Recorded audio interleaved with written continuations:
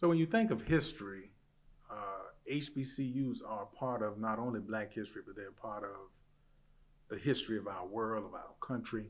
There was a time when blacks did not have a, a place to go to get a, a higher education degree or to even attain those kinds of classes that would help them get to that level. So HBCUs opened that door and allowed for persons of color to come in, matriculate, and then go out and make their mark on the world.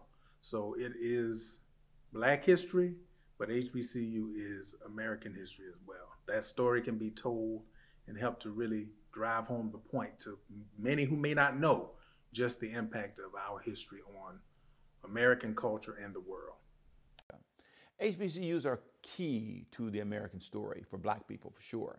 They were the pathway after the Jim Crow laws in 1964. They were the keys that opened the door for more black people. They had already begun before 1964, but they were really tremendously impactful in how they brought life and vitality and clarity to the black experience.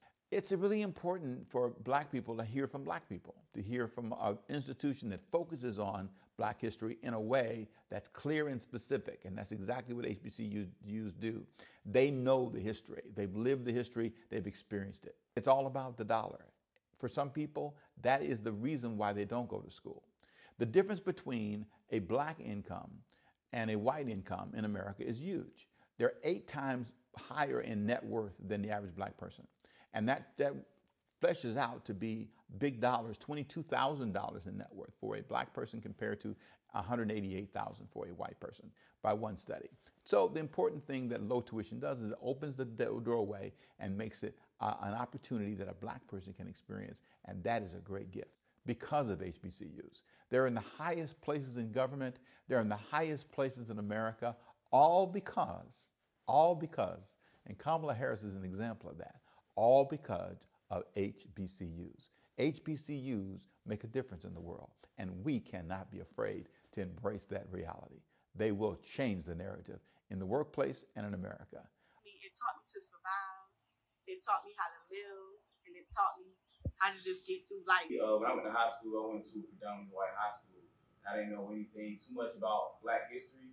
I mean, I knew the basics, but they didn't really go into detail. Of course, we know why. So when I went to FAMU, like they taught me everything I needed to know about uh, Black history and what it means to attend an HBCU. Uh, an HBCU experience is something that I can't explain. You have to be there, um, and it's just something I would never, you know, change. And that's why uh, I believe in continuing on legacy of HBCU. Man, you got doctors, lawyers, athletes, photographers, videographers, you know, anything you can think of, they're there, HBCU. Uh, gosh, it's so many of them, but I would say uh, the lack of education. You know, uh, trying to compare uh, degrees from HBCU per PWI. I mean, they may have different courses, but at the same time, like the degrees are weighed the same.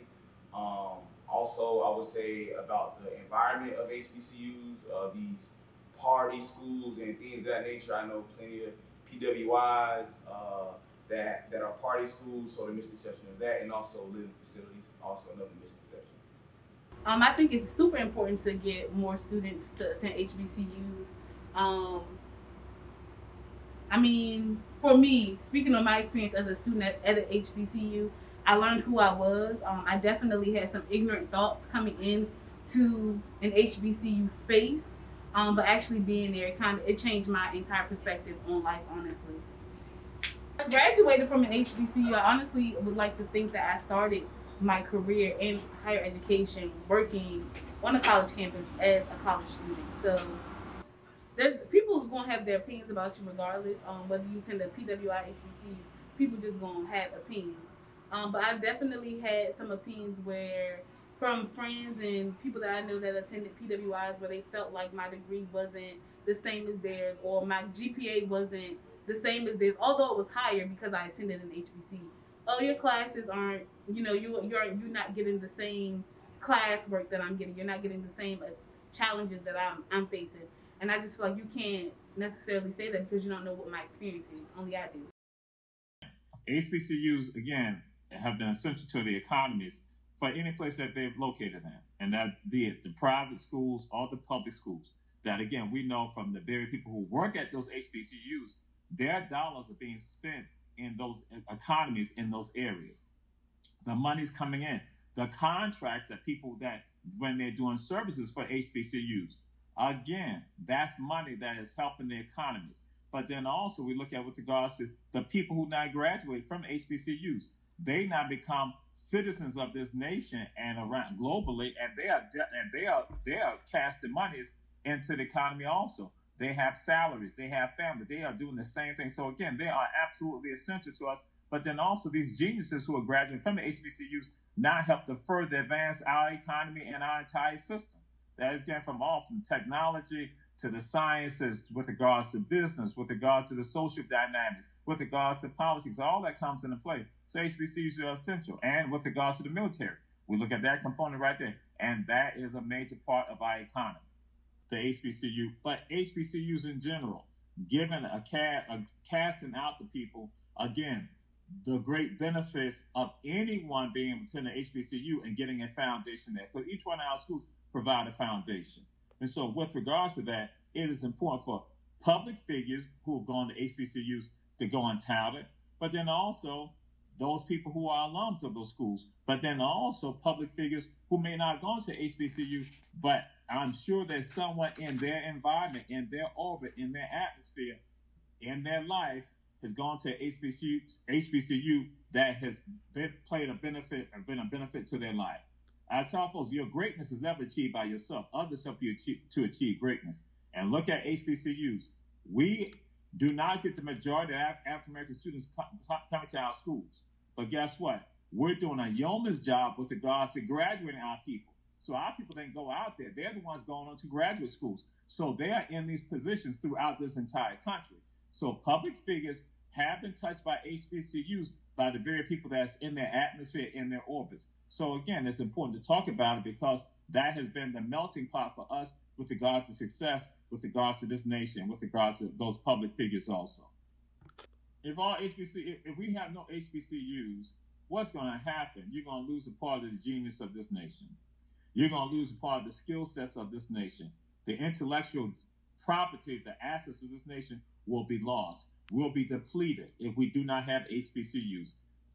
Again, what happened for many of us that we sometimes have not been able to get into other schools based on the criteria that they may have. And they may say someone comes from a background that is not uh, uh, adequate with regard to them now attending that particular institution. But guess what? They come to an HBCU, and HBCU, if that person, again, if their background is a little low, they bring them up to a level that they can stand against anyone. Because I've seen, I've had that experience with regards to people who've gone seeing people from HBCUs and they've gone and touted and said that your education is just as great as someone who's gone to an Ivy League school. So what happens is that if you don't have the HBCUs, you then lose all of that. And these people now have gone forward and had an impact on our society. So without HBCUs, we will be in the dark, this nation.